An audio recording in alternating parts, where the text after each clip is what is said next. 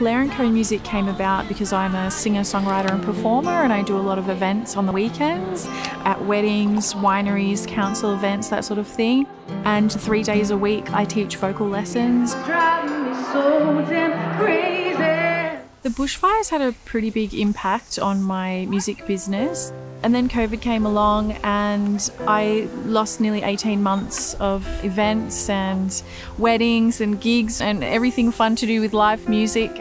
And it made me feel very defeated. I was really excited when I saw the Business Recovery Advisory Service online. I was really looking for new opportunities, how to grow and move forward we were able to pull in all those creative ideas that gave good structure and good foundation to what she actually wanted to do in her business.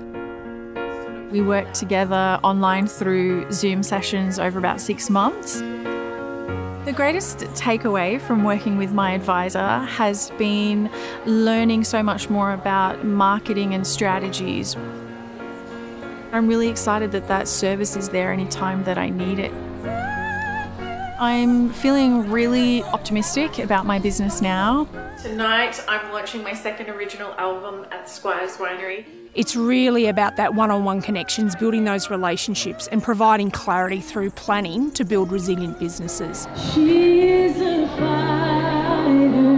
She is a lover. It's been an incredible experience. I would highly recommend it to anyone wanting to gain more insight into these amazing things that come along with running a business.